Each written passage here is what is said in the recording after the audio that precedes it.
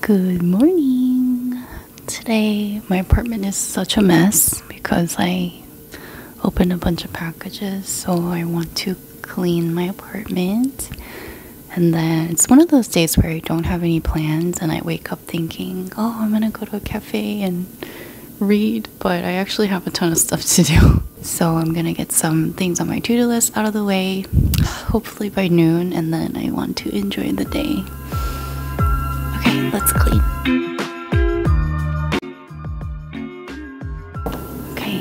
Next I wanna clean my kitchen. Welcome to my kitchen. It actually doesn't look that bad, but um, I have some dishes piled up from this week. And yeah. I also decided to fix this chaos in my refrigerator.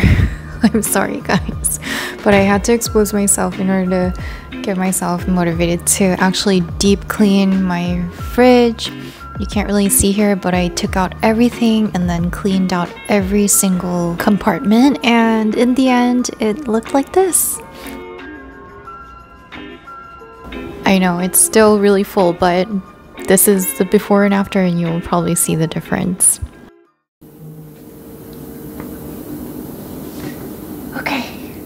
So yes, I changed. Um, I bought the same dress as I wore in my other video, in my beacon video, and I loved it so much. So I got it in white, but it was so see through.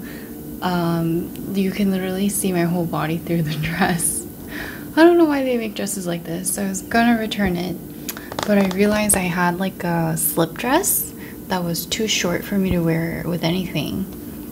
So I actually sewed the slip dress under this dress and let me show you.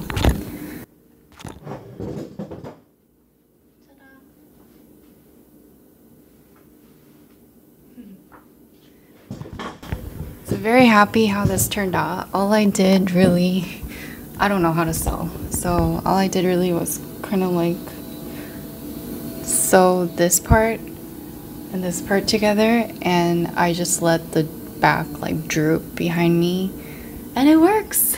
So uh, I'm ready to start my day. I cleaned my room, I cleaned my kitchen. It's 10:30. I'm so happy that I got this done.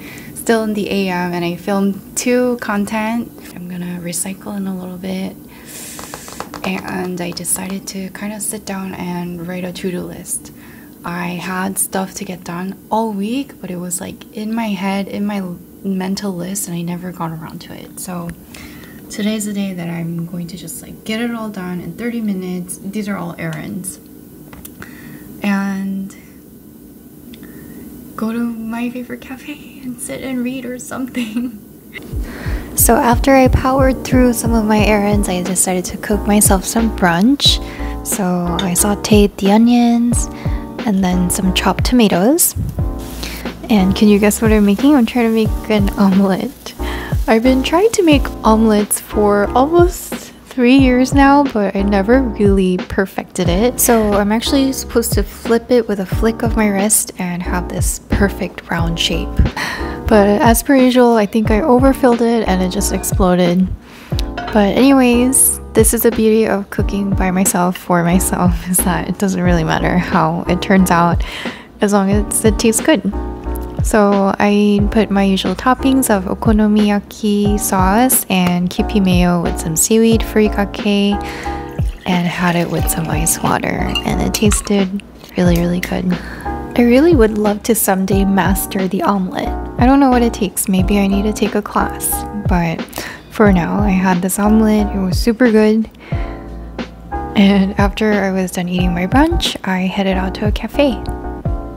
I decided to check out a new cafe that I've never been to. So this is a cafe called White Noise and I tried their coffee and I finally sat down and read my book. This is a book called Kitchen Wise and I really like it because it teaches you very basic food science and flavor science.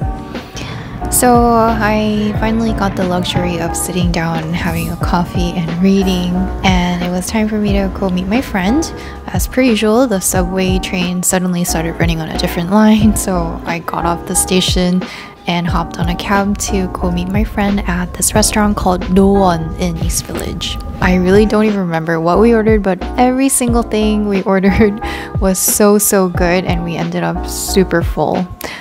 This is their bathroom. It was super lit. It reminded me of my glory days and also made me realize I probably will never be back in a club like this because I have become such a grandma. Finally, I got home and recycled and called it a night. Thank you so much for following me through my Saturday and good night.